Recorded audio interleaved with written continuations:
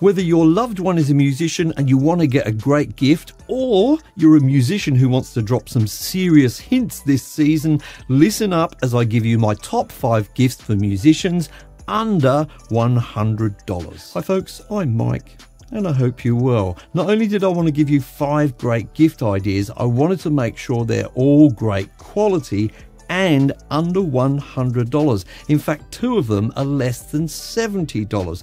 Talking about saving money, I'd like to thank the sponsor for this video, DistroKid. If you follow the VIP link for them in the description down below, you'll get a further 7% off of an already incredible price for distributing music. You could say that they're in tune with the modern musician's needs just like our first gift. This is a high quality guitar worth thousands of dollars, but it can still sound awful if it's out of tune.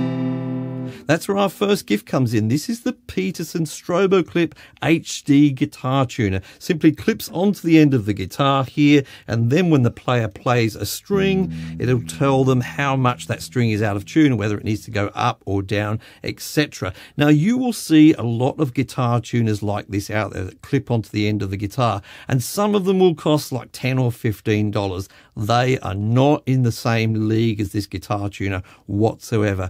Peterson are well known for very, very accurate tuners. That's why people buy them. Apart from that, the build quality is awesome. When you clip it onto your guitar, it's got a nice sort of rotating mechanism. You can face it exactly towards yourself. It's got a really bright display. So if the musician is gigging and playing in the dark, they can see it really, really clearly. And it's got around about sort of 50 different tunings in there. So it's not just for regular guitar tunings. There's lots of different guitar tunings, bass tunings, all kinds of orchestra instruments, etc. I have been using this for around about a year now, and it's the only tuner I use despite having a drawer full of tuners. It's just wonderful, wonderful design, wonderful quality, and costs less than $60. Whenever I'm asked about studio microphones for less than $100, I always recommend this one. This is the Audio Technica AT2020, and there's two reasons I recommend it. Firstly, because I think it's a fantastic microphone,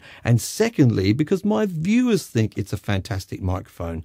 I did a blind test with this microphone and two other more expensive microphones, and my viewers consistently picked this one as the better sounding microphone. That says a lot. Now, I have to tell you, I have microphones in my studio which have a value of more than 20 to 30 times this microphone, but I would still happily use this on any of my recordings. Now, this one happens to be white, but you can get it in black as well, and it costs just 99 US dollars.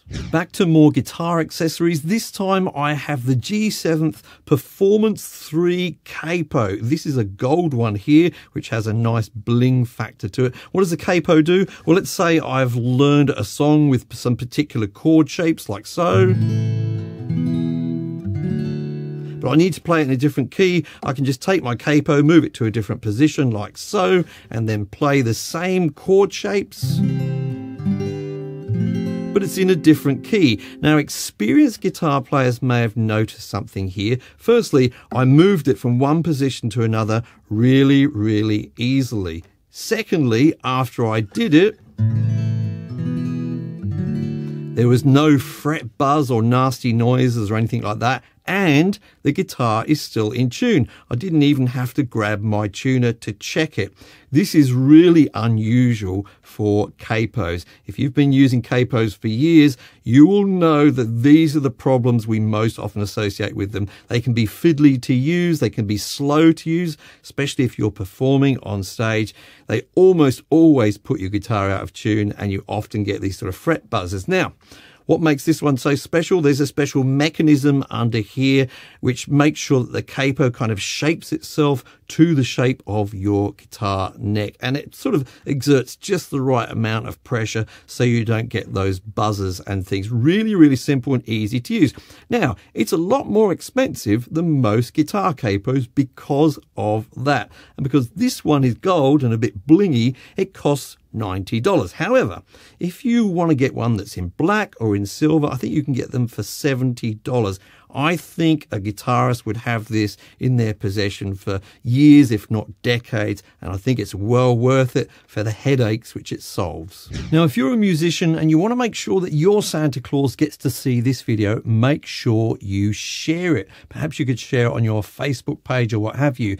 Talking about sharing, our sponsor for today's video, DistroKid, has some great sharing features for when you release your music. This is the hyperfollow page for one of my EPs, Wonderland. When people visit this web page, they can choose for themselves which one of these great platforms they want to listen to my music on. But I didn't have to create this page. It was generated automatically for me when I uploaded my EP to DistroKid. If we visit my DistroKid page here and look at this EP and scroll down, you can see the section just at the bottom here where they supply the link for me to share. Now I can share that on places like Facebook where there will automatically be generated my album artwork and people can just click on this and go straight to that hyperlink page. Now this is all included with the base price of DistroKid which is just $19.99 per year. If you follow the link in the description. You'll get 7% off of that already great price. In the modern home recording studio more and more of the sounds are coming from the computer itself. So I'm talking about pianos, drums, orchestras, that kind of thing. These are called virtual instruments.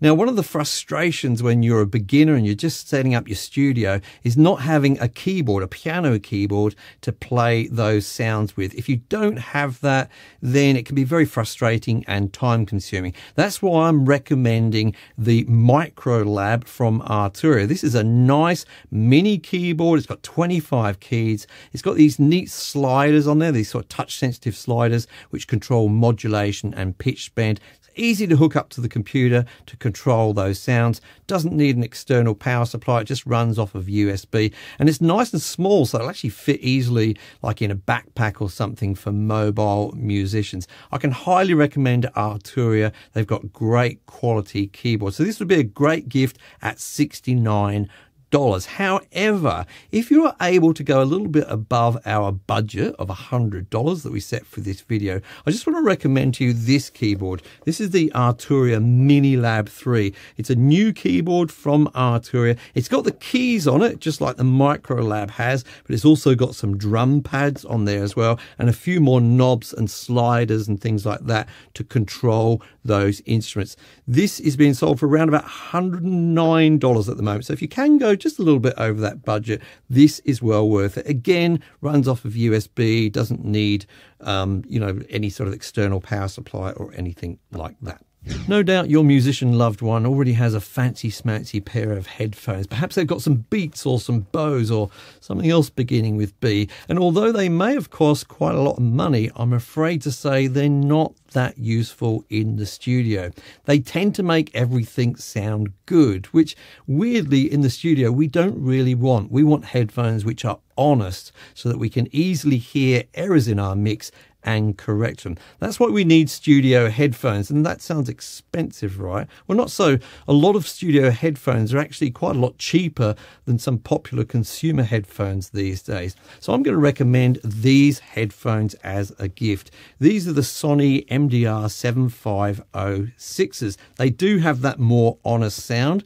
They're really comfortable, which is important when you're wearing them for hours in the studio. And they've also got good isolation. You don't tend to hear the music coming out of them so much. And that's a problem in the studio because music coming out of the headphones will go into the microphone. That's not what we want.